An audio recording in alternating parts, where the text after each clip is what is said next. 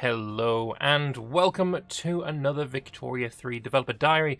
Today is going to be sort of like a two-parter from uh, last week's uh, Dev Diary on colonization because we're going to be talking about decentralized nations. So they're, they're kind of, they go the same. They're, they're the same thing. They go together.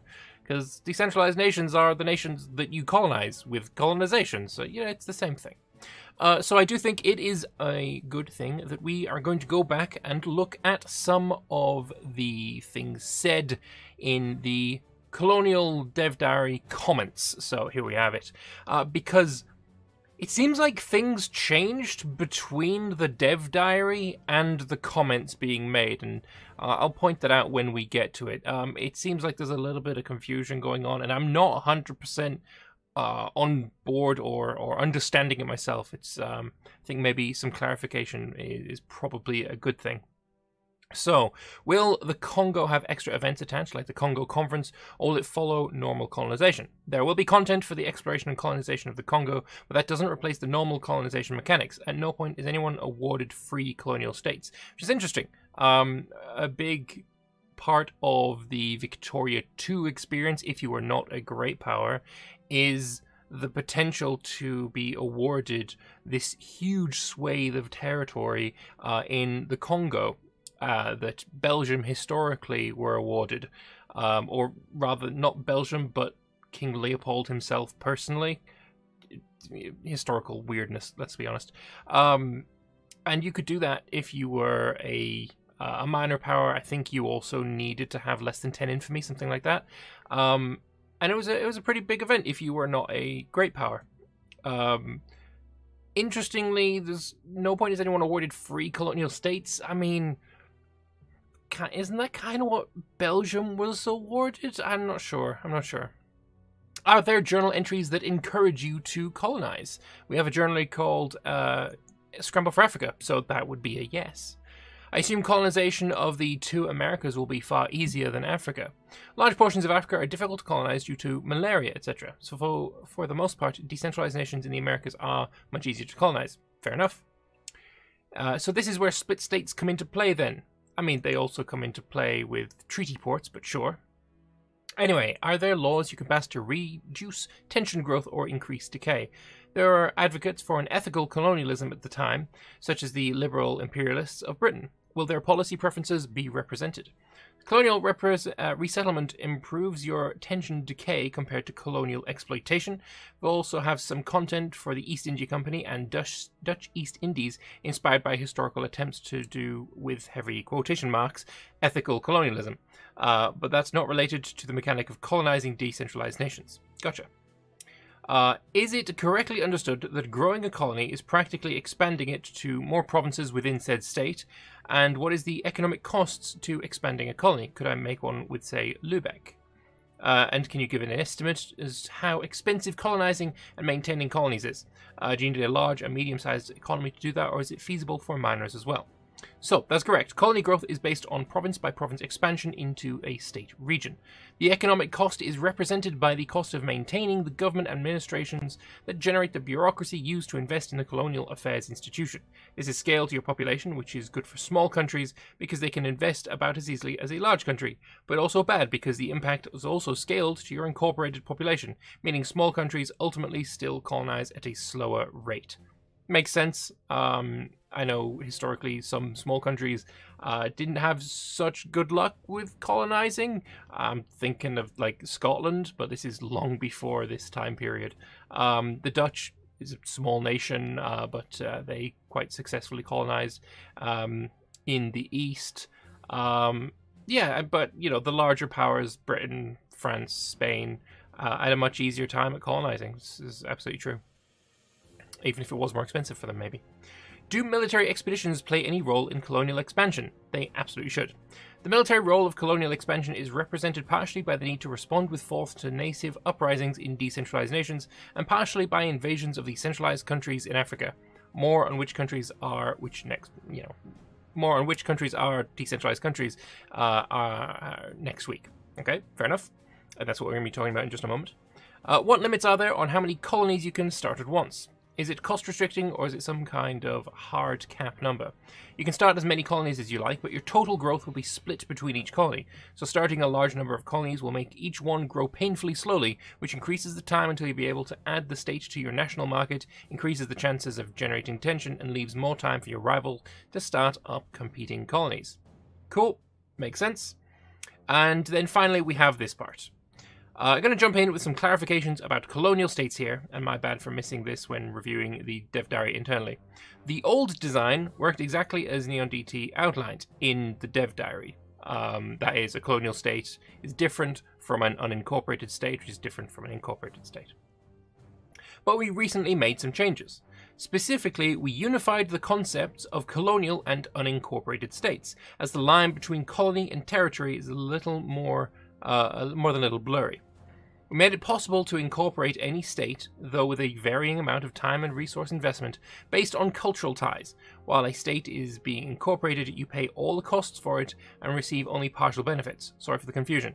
There is no longer a distinction between a colonial state and an unincorporated state, so no, this isn't a thing. Whether an unincorporated state is more of a colony or more of a loosely administrated territory depends on the country's policies. Uh, it's an interesting distinction and, and an interesting change, and it's more than a little awkward that this was relegated to being in a comment rather than in the dev diary itself. Um, but yeah, I mean, he, he, points out here his bad for missing it when reviewing the dev diary.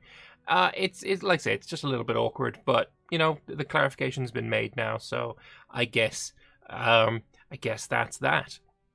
So, uh, with that said, with that done, with that out of the way, we should probably look at today's dev diary, which is, as I have previously mentioned, on decentralized nations.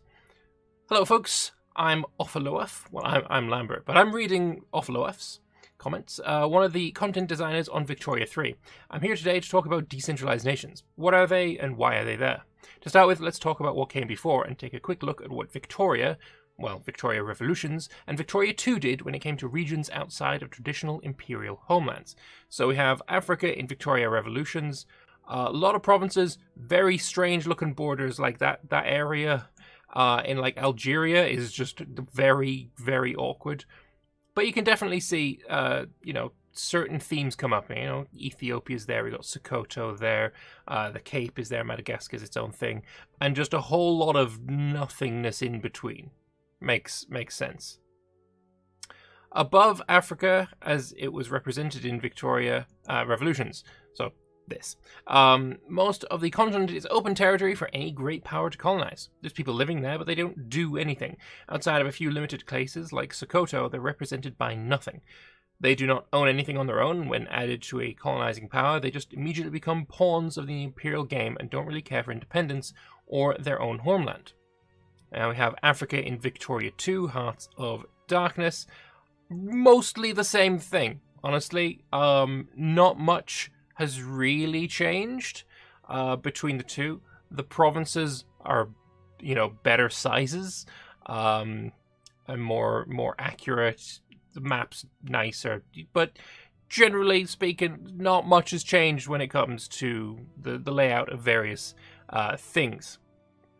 So, uh, the same is broadly true in Victoria 2. Regions historically colonized by imperial powers, such as most of Africa and parts of the Americas, are represented as unclaimed swathes of land just waiting for an empire to come by and colonize them. The people who do live there uh, do not care who marches in, will just be members of one empire or another forevermore after they're colonized. It's a model that could use some improvement. It didn't do justice to the people who historically lived there, and frankly, it made colonial gameplay kind of boring. That's entirely fair it is entirely fair. I don't know if I would go uh, so far as to say it was boring. Um, the the the colonies or the, the people that lived there obviously didn't do anything in Victoria 2, and it was boring to just colonize. The interest in colonization was not based on the where or what was happening there. It was always based on your conflicts that arose with other colonizing powers. Um, the it was always an external away from Africa thing that made colony in Africa interesting, which maybe should not be the case. But let's have a look at what Africa looks like in Victoria 3. and immediately you can tell it's way busier, way, way, way busier. Um, We've got lots more incorporated states. Of course, we've got Sokoto as usual, uh, but then we've got uh, Damagaram, I think, Bornu, uh, Wadai, we've got the Ashanti, Dahomey, uh, Benin is there.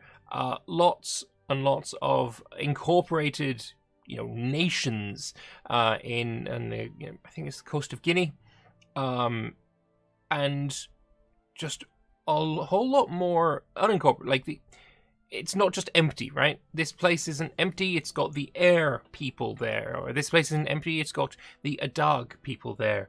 Um, and I think that's that's cool. It looks much busier, much more lively, uh, full of life because you know there were people living there for sure. Um, so yeah, I, I quite like the look of it. But let's have a read about it. In Victoria 3, decentralized nations exist to address both the issues of gameplay and better representation of indigenous peoples. No matter where an empire tries to colonize, somebody already lives there. I take issue with this statement because the British colonized the Falkland Islands and nobody lived there when we did that. Just didn't happen. The, no matter where an empire tries to colonize, unless it's the Falklands, somebody already lives there. Unless it's the Falklands. Unless you're talking about the penguins. If you're talking about the penguins, I forgive you, and that's entirely fair. They're organized, although they don't have the same level of internal, uh, international recognition and administrative organization as, say, the Congress of Vienna attendees.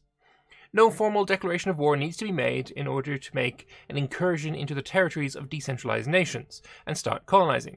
Although the deeper you colonize into a decentralized nation's lands, the more likely it is diplomatic play will kick off where the decentralized nation starts a real war of resistance against you. Even if a colony is successfully established, the people living there aren't just pawns. They remember that they weren't always colonized subjects, and just like any part of an empire, they'll agitate for independence if conditions are right.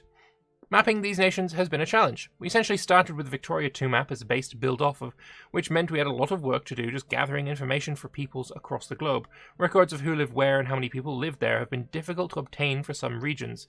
Gameplay considerations have also driven some design choices, but let's look at North America for an example of that process. So we have uh, North America here a snippet of the beautiful draft image used when presenting uh, the original proposal. Um, yeah, no, that's very busy. Let's be honest, it's very very busy. Uh, this is part of a one drafted proposal for the implementation of decentralized nations in North America. There's already some compromises in this version. Peoples have been consolidated into some larger polities, and some state borders have been followed largely because having just one or two provinces on the other side of a state line can create regions too small to do uh, to provide anything or anybody. 400 pops living in state X aren't able to provide enough men to contribute a single battalion to a native uprising, among other things. This design isn't just for the decentralized nations, it's something we also do elsewhere in the world when trying to balance historical accuracy with gameplay, although we of course try to avoid steering too far from actual history. So, this is the proposal that we have, and what we end up with in the game is this. Um, so we can see. I don't. Mm, it very different. It is very different. The Oceti Sakowin has turned into the Great Sioux Nation. Uh, the Pawnee's there, but Cheyenne has been removed. Uh, Ute has been changed. Uh, there's there's a lot of changes. There's a lot of differences between the two. Even with these considerations, we still end up pursuing a modified version of that proposal uh, that did more to preserve the borders of larger imperial borders. We didn't want too many avenues for the United States to colonize its way into historical Canadian territories, or for Mexico to colonize its way into Minnesota. He does miss the Council of Three Fires and hoping to get back in, but it depends on getting a design hammered out that works with the considerations and limitations we just went over above. Other regions uh, had design considerations made in their implementation too. So we've got uh, New Guinea here, um, and I don't know. There is no image for what it is in game, but that's a whole lot of. I, I do I do remember that this region is famous for having so many languages in such a small area. So yeah, I imagine um, trying to figure this out is just insane. And, and good luck to the people who are uh, who are working on that. Going to be real with you. There's no way we're going to accurately and sufficiently map out all the peoples of New Guinea. That's one region where I think we've probably done the most consolidation, but I think it was necessary in order to provide anything like the combined strength needed in order to give the indigenous peoples of New Guinea a decent punch in case of a native uprising. Yeah, no, fair enough. Uh, and then we have West Africa here again. Uh, it is indeed Damagaram. I've never heard of Damagaram, but fair enough. Um, West Africa is way more busy. It looks a lot more like uh, HPM, the historical province, uh, historical project mod, I think it's called, uh, for Vic 2, than it does, you know, base vanilla game Vic 2, which is a good thing, definitely a good thing. West Africa had many design decisions made since it was first mapped out for Victoria 3. As mentioned above, the original map built off was Victoria 2's, so the first thing done was just getting some entity everywhere on the map. This early draft has been revised and revised and revised again and will probably still be subject to further revisions. Countries that were first marked as decentralized have been centralized, such as the Ashanti Empire, and tag additions and renamings are a thing that's happened already and will happen again as we continue to invest time into research and listen to the feedback from the fans. Decentralized nations give life to regions that have been treated as blank states up until now. Mapping them out and getting them right and balancing the challenges of precision and gameplay are a constant struggle, one which we're constantly tackling and working through. The result of this, though, is a world that feels much more alive, and one that we hope you'll be happily exploring at Victoria 3's release. So, he's terrible at transitions, fair enough. Next week, uh, Neon DT is back, and he's going to ship some monumental information there, uh, talking about canals and monuments. Interesting. Okay. Uh, what do I think of this? I am just going to find an image of the map of Africa. There we go. So you can look at that beautiful map. Um, what do I think of this? Um, it is a much better map. It is just a much better map for Africa. Uh, I think that is pretty objective, I would say. Um, it is a lot closer to what we see in the HPM, HFM, uh, just the various Victoria 2 mods that, you know, focus on historical accuracy. They've all got a much similar map to what we see in Victoria 3 than what we see in vanilla Victoria 2, which is, you know, they were onto something, clearly. Um, is it going to result in a better experience uh, when you know when colonizing? Yeah, probably. Um, so yeah, I, I can't see any issue with it. I am a little concerned that it will be too easy to rush some colonization. Say you're playing as two Sicilies in Italy. Um, is it going to be possible for you to go and conquer Benin and Sokoto and Bornu and Damagaram and Ashanti and Dahomey and all of these places uh, long before they were historically colonized? Um, hopefully not. We'll see. We'll see what happens there uh, because I do. Rec- in Victoria 2, like the strategy was to rush Sokoto.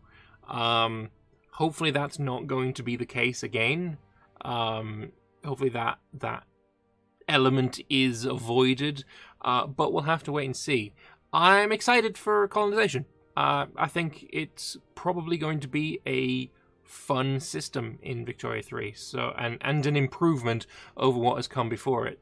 Um, I'm like, see, you you if you've been with me on this journey through the Victoria 3 Dev Diaries, you know that I haven't been positive about absolutely every single one of them. You know, I've I've got my opinions on, you know, what will be better than what came before it and what is going to be worse than what came before it. I think this definitely comes into the category of better than Victoria 2's version.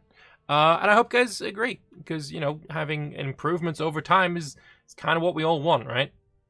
But anyway, let me know if you do agree with me uh, in the comment section below. Um, what would your ideal colonization system be um, for Victoria 3? Uh, not real life, because you know, there's only really one answer for that one. Uh, but yeah, thank you all very much for watching. I hope to see you in the comment section below. And also, I will see you next week for another Developer Diary. Bye bye.